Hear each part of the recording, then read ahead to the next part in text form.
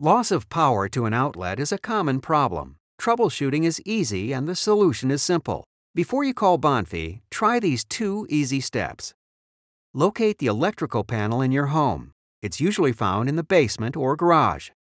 Open the cover and visually check all of the breakers.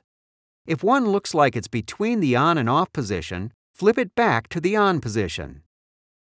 Test your outlet. If the breakers aren't the problem, check the ground fault circuit interrupters or GFCIs around the house. They are usually located in the kitchen, bathrooms, laundry room, garage, and on outside outlets.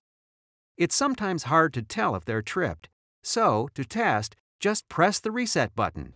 If you hear a pop, that means the circuit was tripped and is now back in working order. Keep in mind, some outlets are linked to GFCIs in unrelated parts of the home, so be sure to check all GFCIs in and outside your home.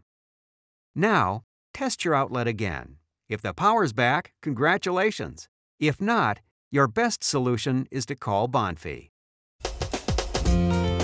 Call the trusted name in home comfort. One company, one call. Bonfe. It's that easy.